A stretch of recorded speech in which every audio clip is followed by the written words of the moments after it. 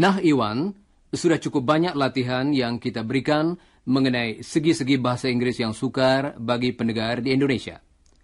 Apalagi yang saudara inginkan untuk ditinjau kembali, Iwan? Kesulitan-kesulitan apa lagi yang dihadapi oleh pendengar kita dalam mempelajari bahasa Inggris? Sekarang saya sendiri tidak mendapat kesulitan. Tetapi ketika saya baru mulai belajar bahasa Inggris, sulit sekali untuk mengingat kata-kata yang berbeda untuk pria dan wanita. Saya pernah merasa sangat malu tidak lama sesudah tiba di Australia. Saya sedang berbicara tentang Helen kepada Jane. Saya baru saja berkenalan dengan Helen dan saya suka padanya dan saya sedang berbicara tentang dia dengan Jane.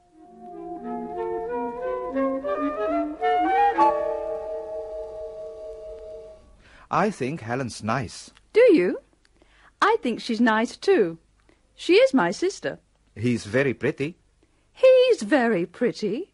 Helen? Yes, he's very pretty and he's nice. I like him.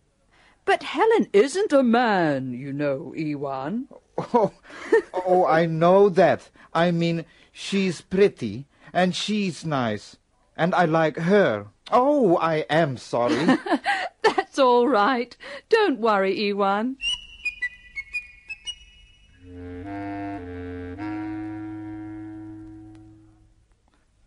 Aduh, saya malu sekali. Tentu saja sekarang saya tidak lagi membuat kesalahan seperti itu. Tetapi saya kira pendengar kita ingin diingatkan kembali akan hal ini dan akan senang kalau diberi latihan lagi dalam memilih antara he untuk seorang pria dan she untuk seorang wanita. Baiklah.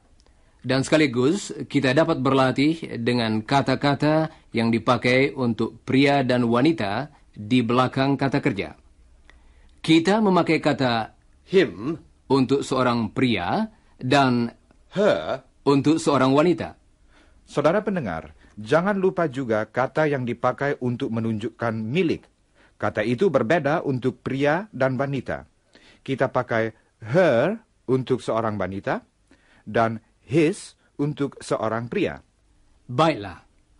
Saudara-saudara, untuk menyingkat waktu, mari kita melatih dua hal sekaligus. Kita dapat berlatih memakai she her or he him. Coba dengarkan.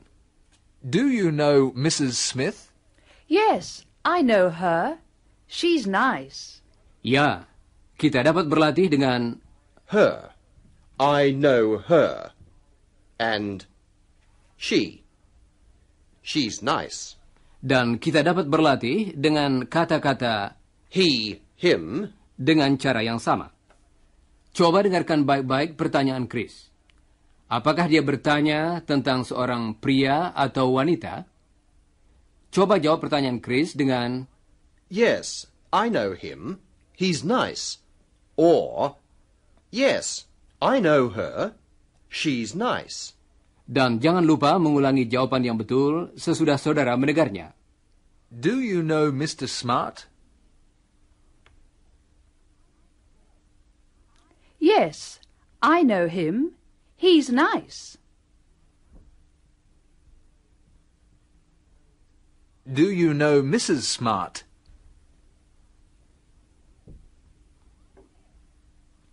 Yes, I know her. She's nice. Sekarang, mari kita beristirahat lagi sebentar.